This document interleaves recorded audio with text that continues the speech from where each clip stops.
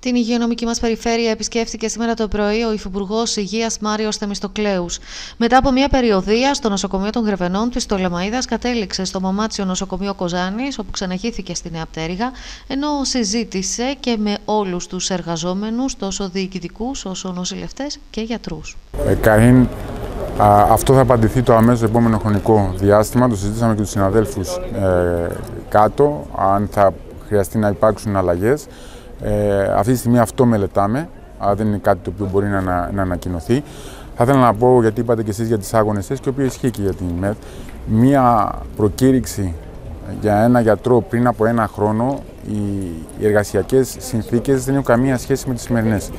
Μέσα σε ένα χρόνο ο γιατρός θα πρέπει να δει ότι μπορεί να πάει σε ένα σύστημα, μπορεί να κάνει ιδιωτικό έργο, μπορεί να κάνει απογευματινά χειρουργία, έχει αυξημένο επίδομα. Δηλαδή, ένας παθολόγος σε ένα, μια, σε ένα νοσοκομείο που ήταν στις δύσκολες περιοχές έχει από 100 ευρώ το μήνα που ήταν το επίδομα, είναι 600 ευρώ το μήνα αυτή τη στιγμή και έχει μια αυτοτελή φορολόγηση εφημεριών.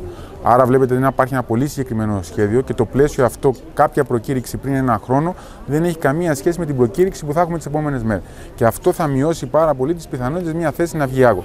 Και αυτό, αφού γίνει η προκήρυξη, μετά θα δούμε πώς μπορούν επιτόπου να. Χρονικά προσδιορίζεται η προκήρυξη. Η προκήρυξη μέσα στις επόμενες 20 μέρες με ένα μήνα. Ναι. Αφήσαμε να εφαρμοστούν όλα τα μέτρα έτσι ώστε να μπορούν οι νέοι γιατροί να αντιληφθούν πλήρως το νέο περιβάλλον το οποίο έχει διαμορφωθεί. Θα αφορά την περιοχή ή θα είναι συνολικά. Θα αφορά, η πρώτη προκήρυξη θα αφορά τις δύσκολες περιοχές, τις άγονε θέσεις. Και μια κουβέντα για, την, ε, για τον υγειονομικό χάρτη. Είμαστε έτοιμοι, πότε θα είμαστε είναι, έτοιμοι. Είναι, είναι, είναι η ίδια συζήτηση που έχει γίνει η αυτή. Η πρόταση τη Δυτικής Μακεδονίας θα γίνει αποδεκτή, γιατί ο κ. Υπουργός το άκουσε ε, την προηγούμενη Δεν είναι η ίδια συζήτηση, γι' αυτό συζητάμε με τους γιατρούς, με τους νοσηλευτές, με το προσωπικό, με την τοπική κοινωνία.